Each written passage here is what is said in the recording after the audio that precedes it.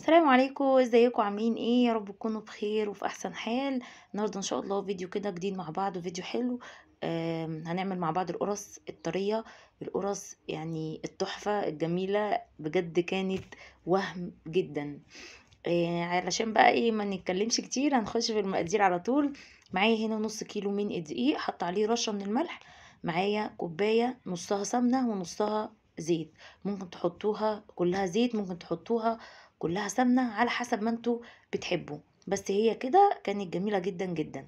يبقى نص كيلو من الدقيق عليه نص كوباية من السمنة ونص كوباية من الزيت وكمان عليه كوباية ونص من اللبن الرايب.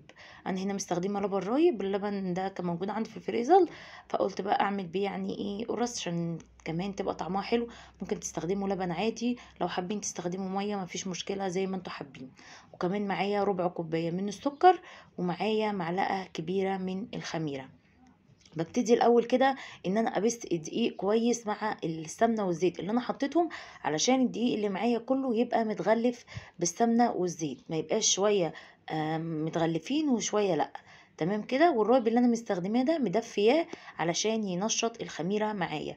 ولو انتي الخميرة بتاعتك مش واثقة فيها أو يعني مش عارفة إذا كانت هي نشطة ولا لأ يبقى تجربيها الأول كده مع شوية مية ومعلقه سكر علشان تتأكدي إنها يعني حلوة ونشطة وما تبوظيش المقادير اللي انت حطاها.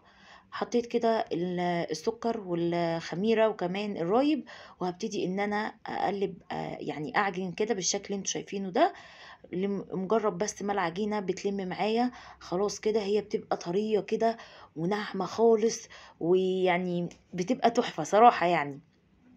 تبقى العجينة كده ملمسها ناعم وطرية خالص كده في إيدك. بصوا شايفين هي بتفرول إزاي؟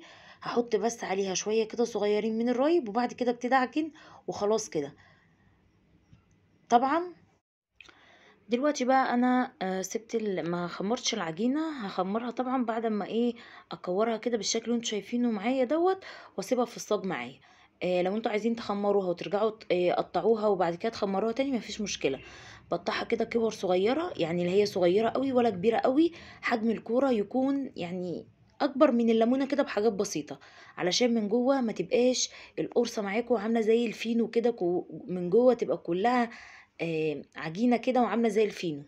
ببتدي إن أنا أكورها كده بالشكل ده وأحطها في الصينية مجرد بس بترتاح. خمس دقايق ببتدي إن أنا إيه أضغط عليها علشان أفردها في الصينية. لأن لو ضغطنا عليها آه على طول آه بتلم تاني معانا. أهو بصوا بالشكل اللي أنتوا شايفينه دوت. وهسيبها لحد ما تخمر وهدخلها فرن درجة حرارة 200 لازم تخش على فرن يكون عالي. هتاخد لون من تحت وبولع عليها الشواية. تاخد لون كده بسيط من فوق. وشكرا على كده. بعد كده نطلعها من الفرن وبتطلع بتبقى طرية جدا جدا مش محتاجة بقى إنك تغطيها ولا ترشيها بمية ولا أي حاجة وبجد بجد بتطلع تحفة. هدخلها الفرن وهتطلع وهوريكم شكلها. دلوقتي كده خلاص القرص طلعت من الفرن زي ما أنتم شايفين شكلها. لسه في تاني حوالي كده ستة أو خمس قرص في الفرن تانيين. بصوا شكلها جميل إزاي. تحفة جدا جدا وطرية جدا. يعني مش عايزة أقول لكم والله العظيم يعني طلعتها من الفرن كانت طرية خالص ما يعني ما غطيتهاش ولا رشيت عليها مثلا مية بالبخاخة عشان تطرى ولا كده لا هي كانت طرية وتحفة زي ما أنتم شايفين وريحتها جبارة. يا ريت ما تنسوش تحطوا لايك للفيديو وتشتركوا في قناتي لو أنتوا أول مرة بتشوفوني علشان يوصل لكم كل جديد أنا بقدمه. شايفين الجمال ومن جوه زي ما قلت لكم مش مليانة كده زي الفينو لأ حلوة جدا وطعمها وريحتها في منتهى الروعة.